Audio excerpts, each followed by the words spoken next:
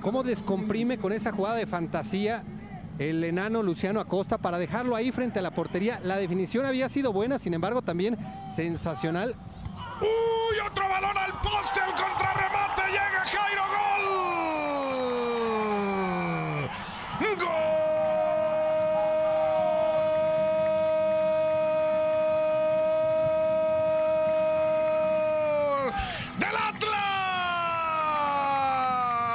Llegó el remate de Caraglio que no le puede atinar, nomás no.